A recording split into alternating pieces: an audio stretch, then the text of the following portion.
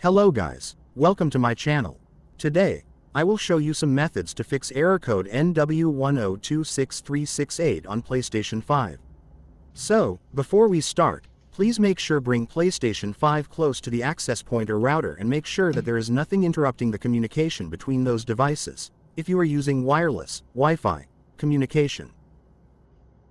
Next, turn off your modem, router. After that unplug the power and wait for more than 5 minutes, then replug the power and restart it.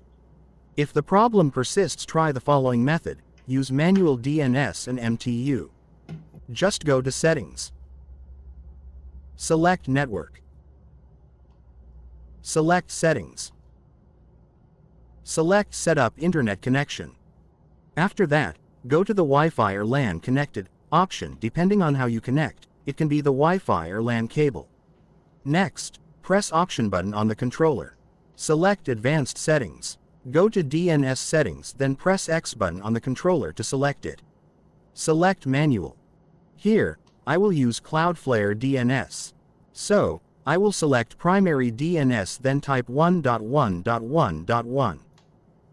Next, I will select Secondary DNS and type 1.0.0.1. Once done, select OK. Then check if error code NW10263668 is gone.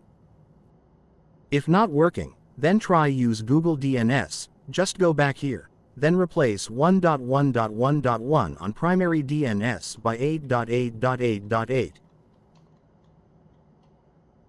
and replace 1.0.0.1 on secondary DNS by 8.8.4.4.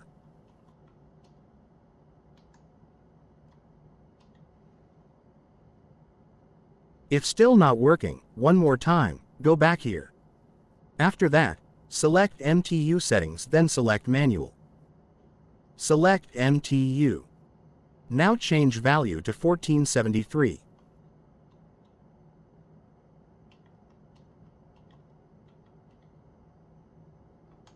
Select Done. Select OK. And visit the PlayStation Store and see if error code NW10263668 is fixed.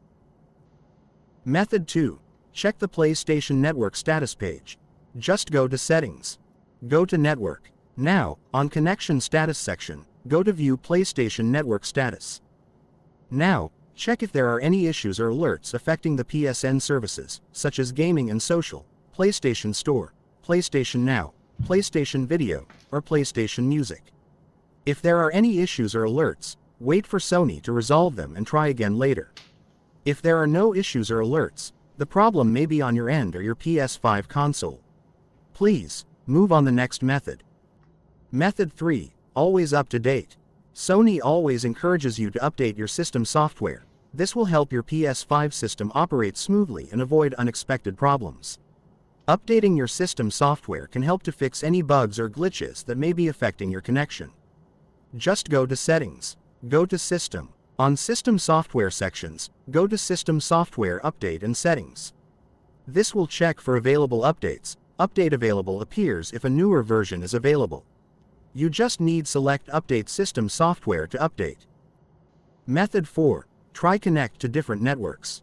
Try connecting your PS5 to another network such as mobile data or a neighbor's wireless network. We need to do this to rule out the possibility that the problem is caused by the router. Sometimes overly strict security on your router will prevent your PS5 from connecting to PlayStation services. If that is true, please contact your internet service provider or router manufacturer and ask for their assistance. Finally, factory reset your router and modem. To do that, make sure keep your router plugged in. Next, Find your router's reset button. This will be on the back or the bottom of your router. Use a paperclip or similar object to hold down the reset button for 30 seconds.